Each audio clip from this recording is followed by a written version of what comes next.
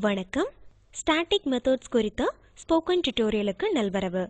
இந்த டியூட்டோரியலில் நாம் கற்கப் போவது ஸ்டாட்டிக் மெத்தட்ஸ் அவற்றை டிஃபைன் செய்வது இன்ஸ்டன்ஸ் மெத்தட்ஸ் மற்றும் ஸ்டாட்டிக் மெத்தட்ஸுக்கு இடையேயான வேறுபாடு மற்றும் ஸ்டாட்டிக் மெத்தட்ஸின் பயன்பாடு. இதற்கு நான் பயன்படுத்தியிருப்பது உபுண்டு 14.04 JDK 1.7 மற்றும் எக்லிப்ஸ் 4.3.1 இந்த டுடோரியலை தொடர ஜாவா மற்றும் எக்லிப்ஸ் IDE தெரிந்திருக்க வேண்டும்.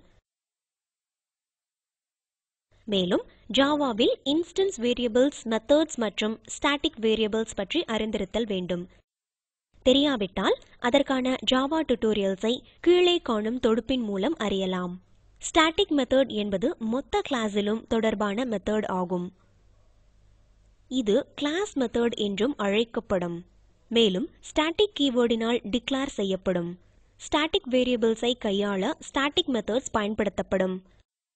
இப்போது எக்லிப்ஸுக்கு சென்று ஸ்டாட்டிக் மெத்தட் டெமோ என்ற பெயரில் புதிய ப்ராஜெக்டை உருவாக்குவோம். ப்ராஜெக்டினுள் ஸ்டாட்டிக் மெத்தட்ஸை விளக்க தேவையான கிளாஸஸை உருவாக்குவோம். ஸ்டூடெண்ட் என்ரோல் என்ற புதிய கிளாஸை உருவாக்குவோம். ஸ்டாட்டிக் மெத்தட்ஸை எப்படி பயன்படுத்துவது என்பதை உதாரணத்துடன் பார்ப்போம். ஸ்டாட்டிக் வேரியபிள் டுடோரியலில் பயன்படுத்திய உதாரணத்தை இது ஒத்திருக்கும். இங்கு மறுபடியும் ஸ்டூடெண்ட் என்ரோல் கிளாஸை குறிக்கின்றோம். நேம் மற்றும் ஐடி இன்ஸ்டன்ஸ் வேரியபிள்களாக கையாளப்படுகின்றன என்பதை நினைவில் கொள்க. இங்கு ஆர்கனைசேஷன் மற்றும் டோட்டல் கவுண்ட் வேரியபிள்கள் கிளாஸ் முழுவதற்கும் பொதுவானவை. எனவே அவற்றை ஸ்டாட்டிக் வேரியபிள்களாக கருதலாம். ஸ்டூடெண்ட் என்ரோல் கிளாஸை குறிப்பதற்கு கீழே காணும் கோடினை டைப் செய்க. இரண்டு ஸ்டாட்டிக் வேரியபிள்ஸ் கவுண்ட் மற்றும் ஓஆர்ஜி நேம் இருப்பதை கவனிக்கவும். மேலும் ஓஆர்ஜி நேம் என்பது ஸ்டாட்டிக் கான்ஸ்டன்ட் அல்ல அது சாதாரண ஸ்டாட்டிக் வேரியபிள் ஆகும். Static variable O R G name IIT Bombay என இனிஷியலைஸ் செய்யப்பட்டுள்ளது. இப்போது சோர்ஸை கிளிக் செய்து ஜெனரேட் கன்ஸ்ட்ரக்டர் யூசிங் ஃபீல்ட்ஸை தேர்ந்தெடுக்கவும். உருவாக்கப்பட்ட கோடில் இருந்து சூப்பர் கீவேர்டை நீக்கவும். கன்ஸ்ட்ரக்டரினுள் டைப் செய்க கவுண்ட் பிளஸ் பிளஸ் செமிகோலன் இதனால் கவுண்டின் மதிப்பு ஒவ்வொரு முறை ஆப்ஜெக்ட் உருவாகும் போதும் அதிகரிக்கப்படுகின்றது. இப்போது வேரியபிள்களின் மதிப்பை பிரிண்ட் செய்ய ஷோ டேட்டா எனும் மெத்தடை இந்த கிளாஸில் சேர்ப்போம். எனவே டைப் செய்க public void show data ID name மற்றும் ஆர்கனைசேஷன் நேமின் மதிப்புகளை பிரிண்ட் செய்ய பிராக்கெட்டுகளுக்குள் பின்வரும் கோடினை டைப் செய்க. இப்போது set O R G name என்ற ஸ்டாட்டிக் மெத்தடை சேர்ப்போம். பின்வரும் கோடினை டைப் செய்யவும். இங்கு குறிப்பிடப்பட்டுள்ள set O R G name method static method ஆகும். மேலும் ஓஆர்ஜி நேமின் மதிப்பை அது மாற்றக்கூடும். ஸ்டாட்டிக் வேரியபிள்களை கையாளும் எந்த மெத்தடையும் ஸ்டாட்டிக் மெத்தட் எனலாம். இப்போது இன்ஸ்டன்ஸ் மெத்தட் மற்றும் ஸ்டாட்டிக் மெத்தட் இடையேயான வேறுபாட்டினை காணலாம். இன்ஸ்டன்ஸ் மெத்தட்ஸ் ஸ்டாட்டிக் வேரியபிள்ஸை அணுக முடியும். அதே சமயம் ஒரு ஸ்டாட்டிக் மெத்தட் ஸ்டாட்டிக் வேரியபிள்களை மட்டுமே நேரடியாக அணுகி அவற்றை மாற்ற முடியும். ஆப்ஜெக்டினால் மட்டுமே இன்ஸ்டன்ஸ் மெத்தடுகள் செயலாக்கப்படுகின்றன. அதே சமயம் ஸ்டாட்டிக் மெத்தடை ஆப்ஜெக்டின்றி நேரடியாக செயலாக்கம் செய்ய முடியும். ஸ்டாட்டிக் மெத்தடினுள் திஸ் மற்றும் சூப்பர் கீவேர்டை பயன்படுத்த முடியாது. ஏனென்றால் இந்த கீவேர்டுகள் ஒரு குறிப்பிட்ட கிளாஸின் உதாரணத்தை குறிப்பவை.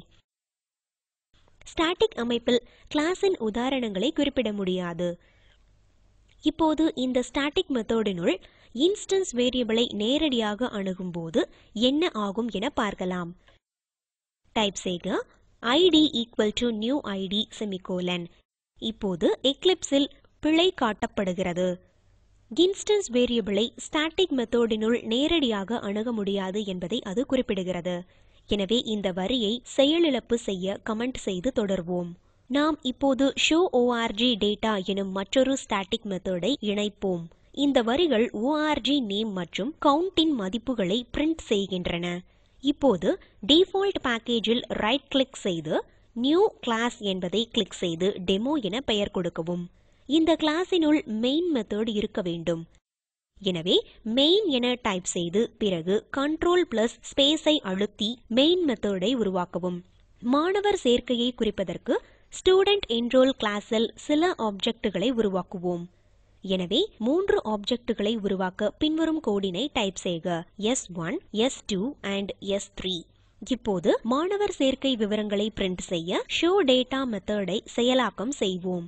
S1, S2 மற்றும் S3 மீது ஷோ டேட்டா மெத்தடை செயலாக்கம் செய்ய பின்வரும் கோடினை டைப் செய்க. Org நேம் மற்றும் கவுண்டின் மதிப்புகளை பிரிண்ட் செய்ய ஷோ org டேட்டா மெத்தடையும் செயலாக்கம் செய்வோம். இது ஸ்டாட்டிக் மெத்தட் என்பதால் கிளாஸ் நேம் மூலம் இதனை நேரடியாக செயலாக்கம் செய்யலாம். அதற்கு இந்த கோடை டைப் செய்யவும்.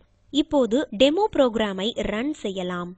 S1 தொடர்புடைய வேரியபிள்களின் மதிப்புகளான IT101 அடில் மற்றும் IIT பாம்பே பிரிண்ட் ஆகியிருப்பதை பார்க்கலாம். இவ்வாறு S2 மற்றும் S3 தொடர்புடைய மதிப்புகளும் பிரிண்ட் ஆகியுள்ளன. Org நேமின் மதிப்பான IIT பாம்பே S1, S2 மற்றும் S3 க்கு பொதுவானது என்பதை கவனிக்கவும். Static method show org data மூலம் org நேம் மற்றும் கவுண்ட் தனித்தனியாக பிரிண்ட் செய்யப்படுகின்றன. ஆர்கனைசேஷன் நேம் IIT பாம்பே என பிரிண்ட் செய்யப்பட்டுள்ளதை காணவும். ஏற்கனவே மூன்று ஆப்ஜெக்ட்டுகளை உருவாக்கியுள்ளதால் மாணவர் சேர்க்கை எண்ணிக்கையின் மதிப்பு மூன்று என பிரிண்ட் ஆகியுள்ளது. கிளாஸ் நேமினால் ஸ்டாட்டிக் மெத்தடை நேரடியாக செயலாக்கம் செய்யலாம். இப்போது ஸ்டாட்டிக் மெத்தட் செட் ஓஆர்ஜி நேமை செயலாக்கம் செய்வோம். இப்போது நிறுவனத்தின் பெயரை ஐஐடி பாம்பேயிலிருந்து ஐஐடி மும்பை என மாற்றுவோம். பின்வரும் கோடினை டைப் செய்க. சேர்க்கை விவரங்களை பிரிண்ட் செய்ய ஷோ டேட்டா மெத்தடினை S1, S2 மற்றும் S3 மீது மீண்டும் செயலாக்கம் செய்வோம். அதற்கு பின்வரும் கோடினை மீண்டும் டைப் செய்யவும். Org நேம் மற்றும் கவுண்டின் மதிப்புகளை பிரிண்ட் செய்ய இன்னொரு முறை ஷோ org டேட்டா மெத்தடை செயலாக்கம் செய்யலாம். அதற்கு இந்த கோடை டைப் செய்க. டெமோ புரோகிராமை மறுபடியும் ரன் செய்யவும். ஆர்கனைசேஷன் நேம் ஐஐடி மும்பை என மாறியிருப்பதை காணலாம். இப்போது ஸ்லைட்ஸுக்கு வருவோம். ஆப்ஜெக்ட் ரெஃபரன்சஸை ஒரு ஸ்டாட்டிக் மெத்தடுக்கு அனுப்பலாம். இவ்வாறு ஸ்டாட்டிக் மெத்தட் ஒரு ஆப்ஜெக்டின் இன்ஸ்டன்ஸ் வேரியபிள்ஸை அணுக முடியும். இதனை நம் கோடில் முயற்சி செய்யலாம். எக்லிப்ஸுக்கு மாறி ஸ்டூடெண்ட் என்ரோல் கிளாஸுக்கு செல்லவும். இப்போது set org நேம் மெத்தடில் மற்றொரு ஆர்குமெண்ட்டை ஸ்டூடெண்ட் என்ரோல் கிளாஸின் ஆப்ஜெக்டாக அனுப்பவும். எனவே ஸ்ட்ரிங் ஓஆர்ஜிக்கு பிறகு டைப் செய்க கமா ஸ்டூடெண்ட் என்ரோல் எஸ் இப்போது மெத்தடினுள் ID equal to new ID என்பதை அன்கமெண்ட் செய்து செயலாக்கம் செய்யவும். ஐடிக்கு பதிலாக டைப் செய்க s டாட் ஐடி டெமோ கிளாஸுக்கு செல்லவும். ஸ்டூடெண்ட் என்ரோல் ஆப்ஜெக்ட் எஸ் ஒன்னை அனுப்புவதால் set O R G name மெத்தடுக்கான function காலில் மாற்றம் செய்யலாம். எனவே ஐஐடி மும்பையை அடுத்து டைப் செய்க கமா S1 டெமோ புரோகிராமை மறுபடியும் ரன் செய்யவும். S1 க்கான ID மதிப்பு நியூ ID என மாறியிருப்பதை காணலாம். இப்போது சுருக்கமாக பார்ப்போம். இந்த டுடோரியலில் நாம் கற்றது ஸ்டாட்டிக் மெத்தட் மற்றும் அதன் பயன். ஸ்டாட்டிக் மெத்தட்ஸ் மற்றும் இன்ஸ்டன்ஸ் மெத்தட்ஸின் வேறுபாடு மேலும் ஸ்டாட்டிக் மெத்தட்ஸை உருவாக்கும் முறை மற்றும் செயலாக்கம். இந்த பயிற்சி ஸ்டாட்டிக் வேரியபிள் பயிற்சியின் தொடர்ச்சி. நீங்கள் ஸ்டாட்டிக் வேரியபிள் பயிற்சியை முடித்துவிட்டீர்கள் என்பதை உறுதிப்படுத்திக் கொள்ளுங்கள். இங்கே மாற்றங்களை மட்டுமே நாங்கள் முன்வைக்கிறோம். இங்கு ஸ்டேட்டஸை குறிக்க ஒரு வேரியபிள் உள்ளது. கார் இன் ஃபார் சர்வீஸ் அல்லது அவுட் ஆஃப்டர் சர்வீஸ் என்பதை அது குறிக்கிறது. Number of cars out after service என்பதை குறிக்க மற்றொரு வேரியபிள் உள்ளது. சர்வீஸ் கார் சி எனும் மெத்தடை டிஃபைன் செய்து அது ஸ்டேட்டஸை அவுட் என புதுப்பிக்குமாறு செய்யவும். அவ்வாறே அது number of cars in for service மற்றும் number of cars out after சர்வீஸின் மதிப்புகளையும் மாற்றும். அத்துடன் காரின் அனைத்து விவரங்களையும் பிரிண்ட் செய்ய ஷோ எனும் மெத்தடினை டிஃபைன் செய்யவும். முன்பு போல் பட்டியலிடப்பட்டுள்ளபடி பின்வருமாறு செய்ய வேண்டும். தேவைக்கேற்ப ஸ்டாட்டிக் மெத்தடை அடையாளம் கண்டு டிஃபைன் செய்ய வேண்டும் என்பதை கவனத்தில் கொள்க. அத்துடன் டெமோ கிளாஸை உருவாக்கவும். மெயின் மெத்தடினுள் கார் சர்வீஸுக்கு சில ஆப்ஜெக்ட்டுகளை உருவாக்கவும். சர்வீஸ் மெத்தடை சில ஆப்ஜெக்ட்ஸில் செயலாக்கம் செய்யவும். அனைத்து ஆப்ஜெக்ட்ஸ்களை கொண்டும் ஷோ மெத்தடை செயலாக்கம் செய்து முடிவுகளை சரிபார்க்கவும். கீழே காணும் தொடுப்பின் மூலம் ஸ்போக்கன் டியூட்டோரியல் திட்டம் குறித்து சுருக்கமாக தெரிந்து கொள்ளலாம். அதை பதிவிறக்கம் செய்து காணுங்கள். ஸ்போக்கன் டுடோரியல் திட்டக்குழு ஸ்போக்கன் டுடோரியல்களை பயன்படுத்தி செய்முறை வகுப்புகள் நடத்துகிறது. இணையத்தில் பரீட்சை எழுதி தேர்வோருக்கு சான்றிதழ்களும் தருகிறது. மேலும் அறிய மெயில் எழுதவும். Contact at spoken hyphen tutorial dot O R G இந்திய அரசாங்கத்தின் எம்ஹெச்ஆர்டியின் NMEICT ஸ்போக்கன் டுடோரியல் திட்டத்திற்கு நிதியுதவி தருகிறது. மேலும் இந்த திட்டம் பற்றி அறிய கீழே உள்ள தொடுப்பினை காணவும். இந்த டுடோரியலை தமிழாக்கம் செய்தது ஐஸ்வர்யா குரல் கொடுத்தது ஐஐடி பாம்பேயிலிருந்து சண்முகப்பிரியா.